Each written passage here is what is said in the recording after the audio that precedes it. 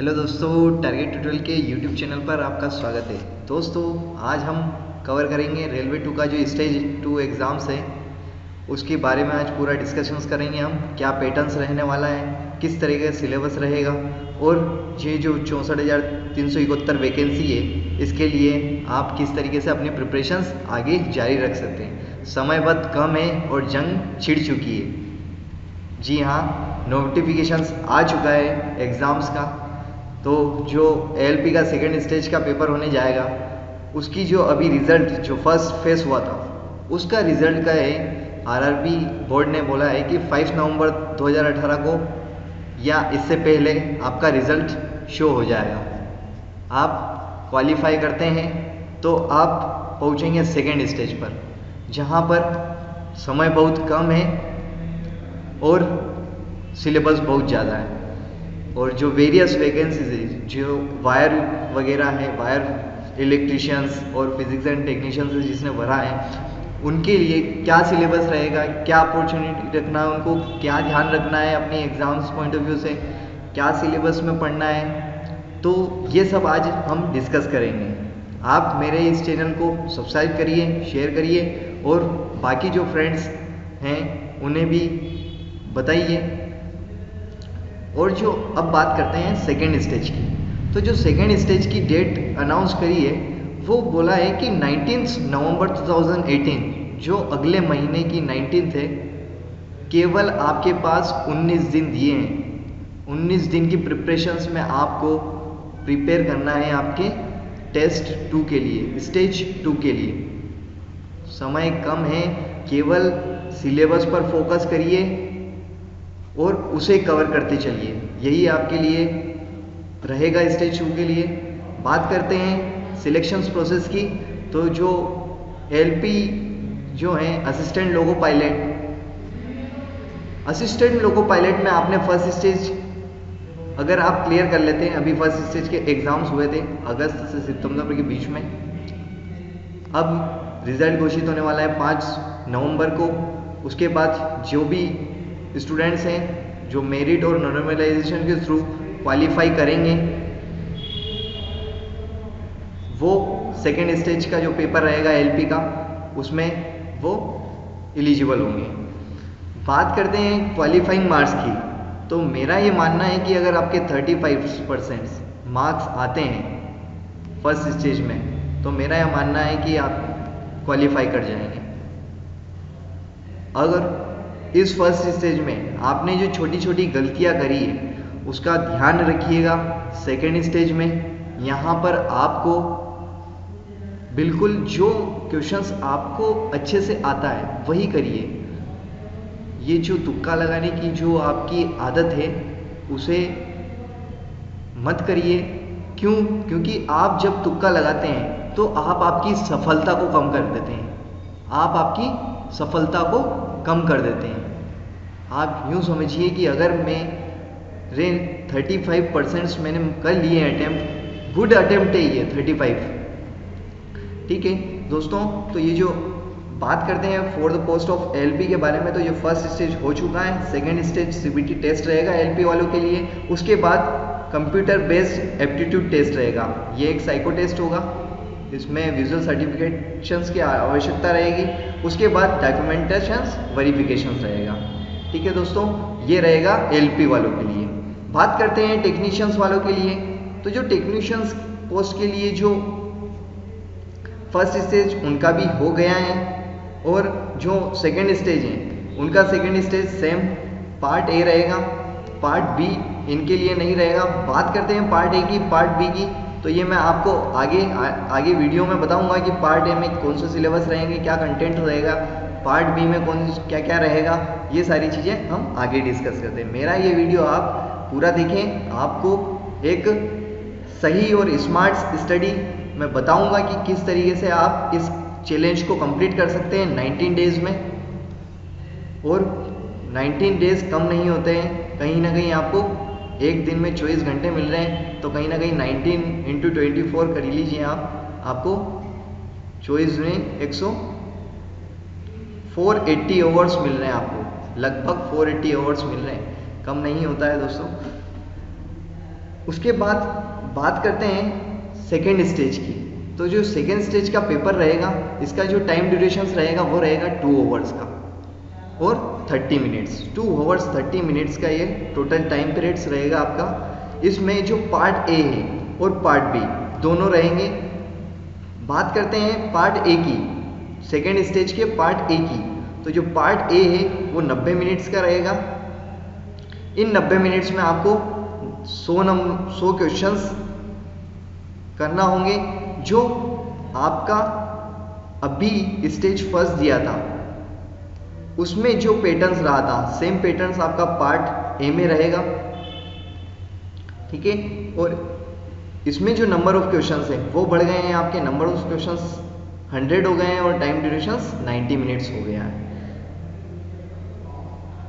यहाँ पर बात करते हैं this mark scored in part A alone shall be used for shortlisted ये जो पार्ट ए रहेगा, इसी की मेरिट बेस्ड पर आप शॉर्ट लिस्टेड रहेंगे और जो रिक्रूटमेंट प्रोसेस रहेगी, वो आगे फर्दर रहेगी। Subject to the condition that the candidate is secured qualifying marks in part B जो पार्ट बी रहेगा, वो आपका क्वालिफाइंग मार्क्स का रहेगा। उसमें आपको केवल क्वालिफाई करना रहेगा। बात करते हैं सिलेबस की। तो जो पार्ट ए का सिलेबस रहेगा सेकेंड स्टेज के लिए, वो कुछ इस तरीके से रहेगा।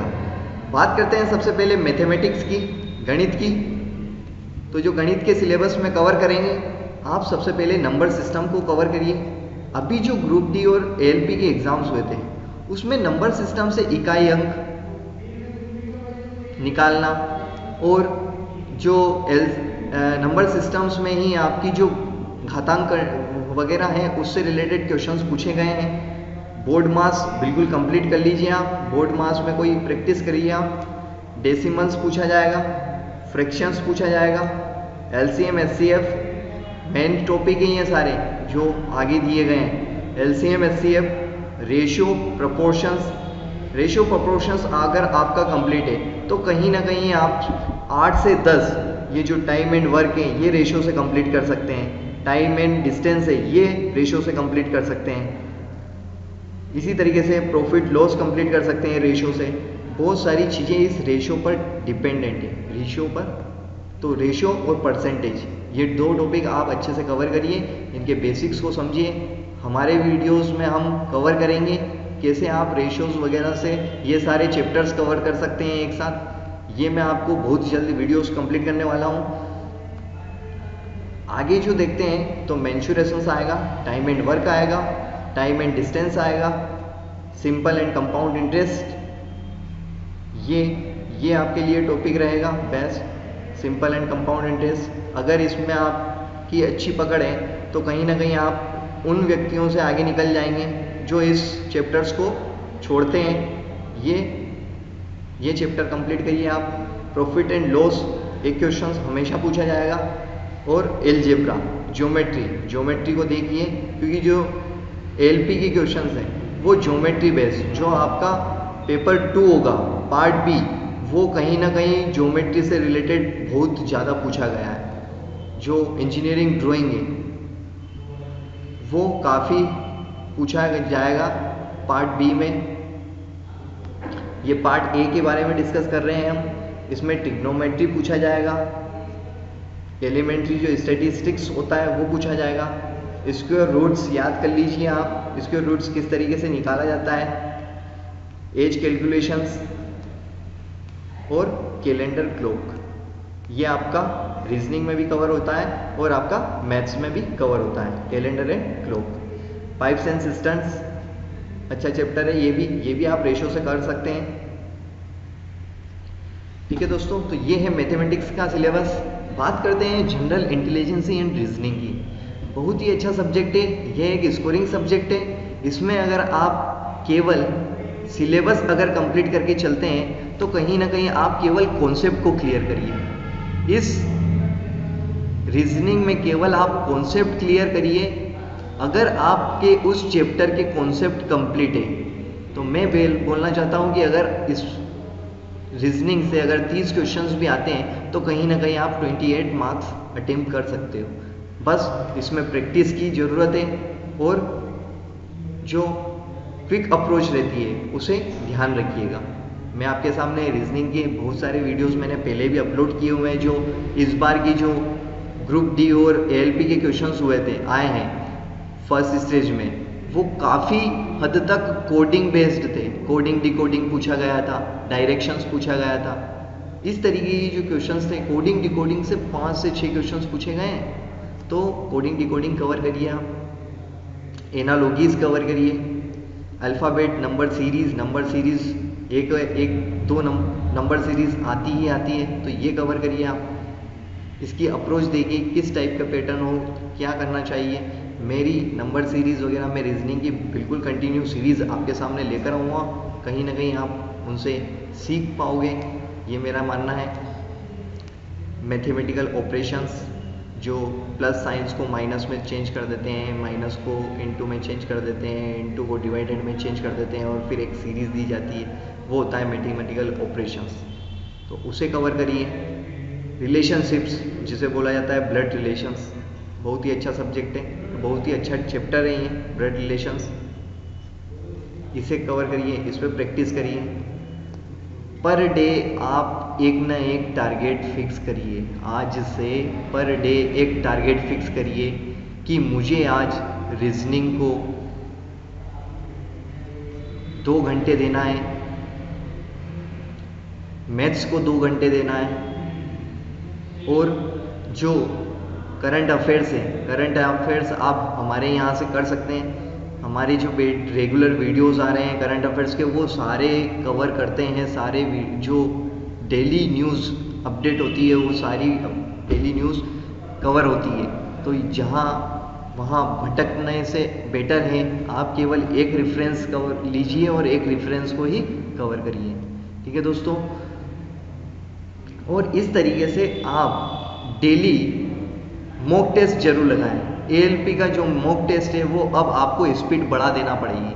कहीं ना कहीं आपको दो से चार मॉक टेस्ट पर डे लगाना है। अगर आप दो मॉक टेस्ट एक सुबह एक शाम को लगाते हैं और उनका सॉल्यूशंस आप देखिए। कहीं ना कहीं अगर आप 100 क्वेश्चंस का एक पेपर लगा रहे हैं तो वहाँ पर आपको जो ऑप्शंस मिलते हैं, हर क्वेश्चंस में चार ऑप्शंस मिलते हैं। उनको कवर करिए। तो आपके एक पेपर में 400 क्वेश्चंस कवर होते हैं। कम नहीं होंगे 400 क्वेश्चंस अगर आप साइंस वगैरह से 30 क्वेश्चंस भी करते हैं तो जो है 30 मतलब 100 क्वेश्चंस के समथिंग आप कवर कर जाएँगे। बात करते हैं सिलोजिज्म की। सिलोजिज्म का मैंने एक वीडियोस डाल रखा है। बहुत अच्छा है। आप उसको देखिए। उससे रिलेटेड क्वेश्चंस आएँगे ही आएँगे। जम्बलिंग आएगी। वेन डायग्राम वेन डायग्राम से पूछा जाएगा क्वेश्चंस एक डाटा इंटरप्रिटेशंस पूछा जाएगा डीआई दी जाएगी, एक सिंपल डीआई दी जाएगी, उसमें पूछा जाएगा आपसे कितना परसेंटेज किसका डिफरेंस और कितना एवरेज वगैरह है, इस तरीके से कंक्लूजन एंड डिसीज़न मेकिंग ये इस बार का टारगेट रहा है रेलवे का। दो तीन क्वेश्चंस डिसीज़न मेकिंग से दिया गया है। मैं डिसीज़न मेकिंग्स पर अपने वीडियोस लेकर आऊँगा। उसमें आप, केवल आप कॉन्सेप्ट पर क्लियर फोकस करना, आपको जो भी क्वेश्चन आएँगे, वो आपको तुरंत क्विकली सॉल्यूशंस कर सकते हैं पाँच से दस मिनट सेकेंड्स में। सिमिलरिटीज़ दी जाएँगी डिफरेंसेस दिए जाएँगे एनालिटिकल रीजनिंग आएगी, और क्लासिफिकेशंस आएगा। डायरेक्शंस आएगा स्टेटमेंट आर्ग्यूमेंट्स ये भी आपका एनालिटिकल में आएगा और अजम्पशंस आएँगे। तो ये सारा कवर आएगा रीजनिंग में।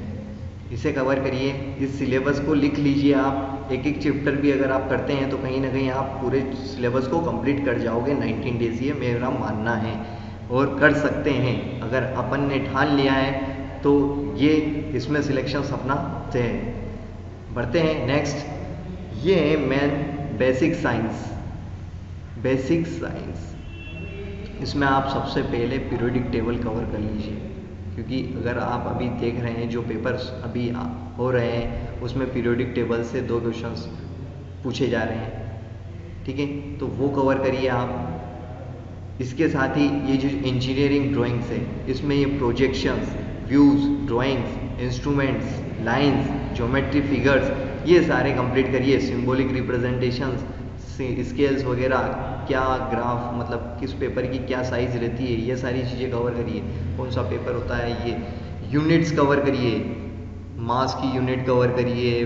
जितनी भी यूनिट्स है फंडामेंटल्स एंड जो डिराइव्ड यूनिट्स हैं, उनको कवर करिए।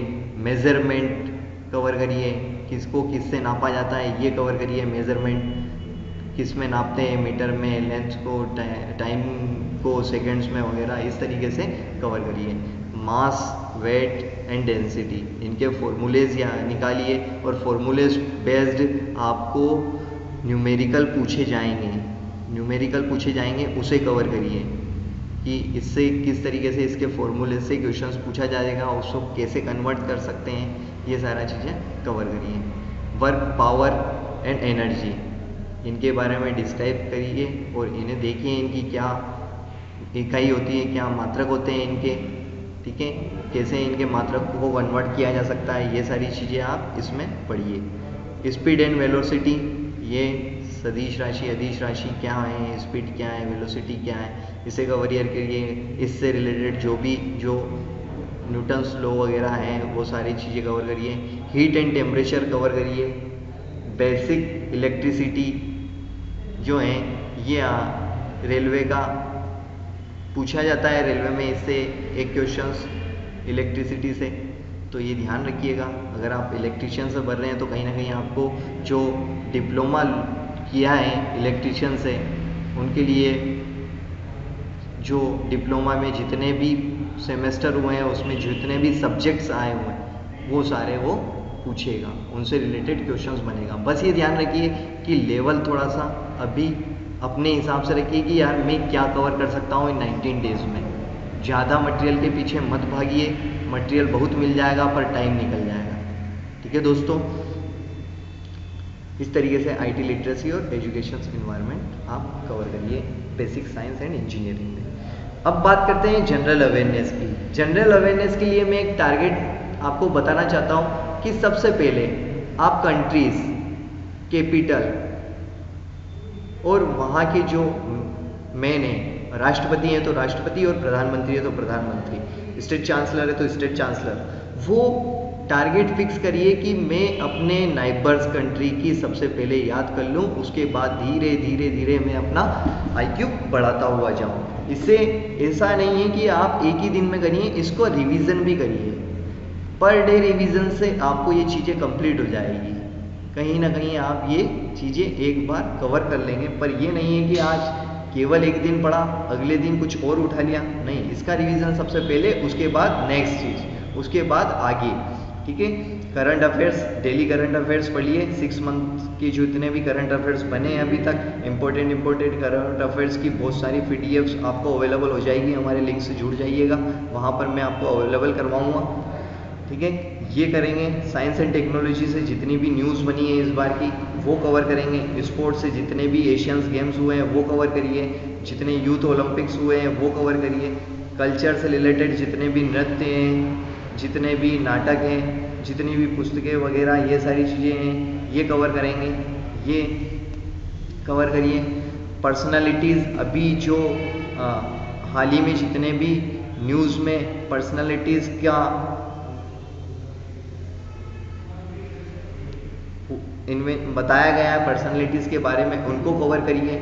जितनी भी पर्सनालिटीज़ कौन किसके सीईओ बने हैं कौन किसका अध्यक्ष बना है, ये सारी चीज़ें कवर करिए। इकोनॉमिक्स से रिलेटेड आप दो तीन क्वेश्चंस पूछे जाते हैं तो बेटर है आप ये सारी चीज़ें पहले कवर करें, उसके बाद इकोनॉमिक्स पे जाएँ और पॉलिटिक्स पे जाएँ। पॉलिटिक्स आप अभी, अगर आपका बेटर है तो आप यहाँ पर आप केवल उनका रिवीजन कर लीजिए जो आपने पढ़ रखा है।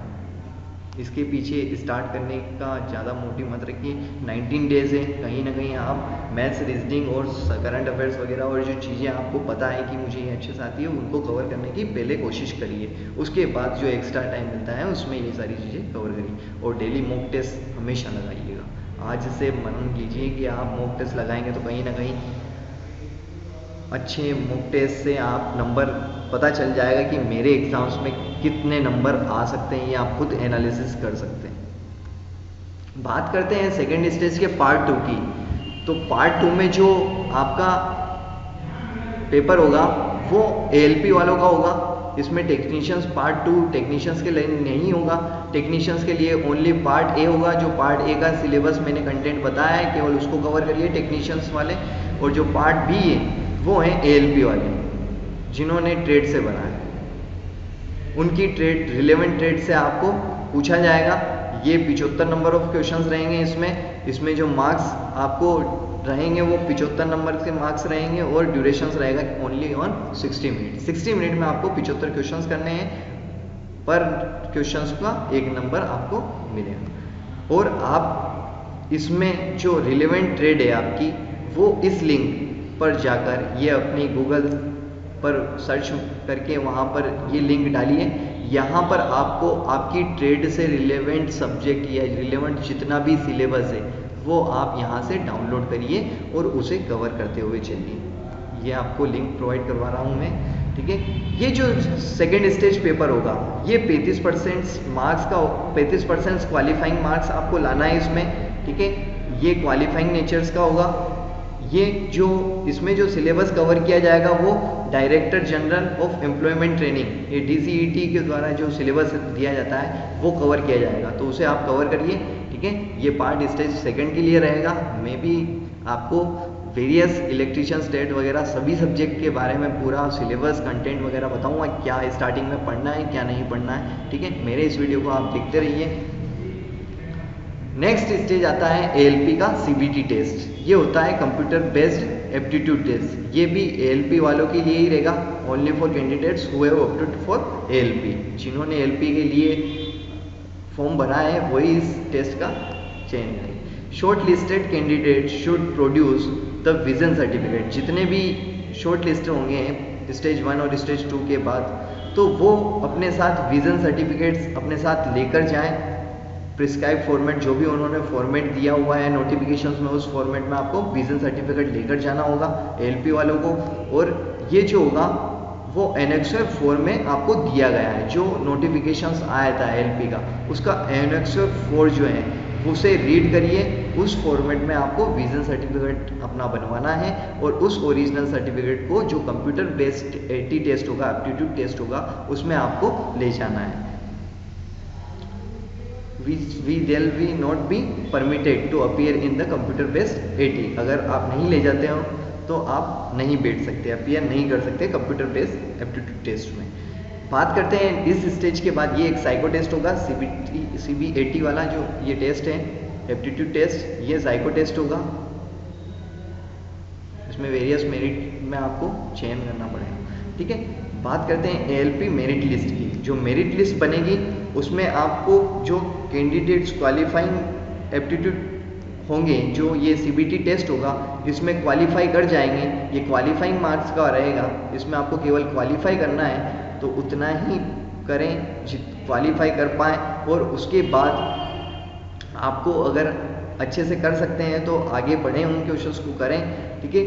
तो ये क्वालिफाइंग नेचर का है। और with 70 percent weightage for the marks obtained in the part A जो आपने पार्ट ए में नंबर्स पाए, मान लो आपने 40 नंबर्स मिले हैं आपको पार्ट ए में तो उसका जो 70 परसेंट है, वो आपको पार्ट ए में इसके लिए रहेगा और जो सेकेंड स्टेज में आपने दिया है सीबीटी उसके लिए 30 परसेंट का वेटेज रहेगा 70 परसेंट पार्ट ए का और 30 परसेंट सीबीटी का। ये दोनों को इंक्लूड करके आपकी मेरिट बनेगी और ये आपका सिलेबस कंप्लीट यहाँ होता है।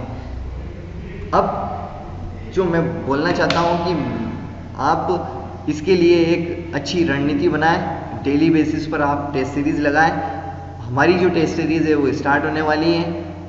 एक नवंबर 2018 से हम टेस्ट सीरीज़ स्टार्ट करने वाले हैं। थैंक यू दोस्तों। मेरा ये चैनल आप सब्सक्राइब करें और अपने दोस्तों को शेयर करें ताकि उन्हें भी ये सारी जानकारी मिल पाए और ये जो सिलेबस है वो अच्छे से कवर कर पाएँ। Thank you thank you very much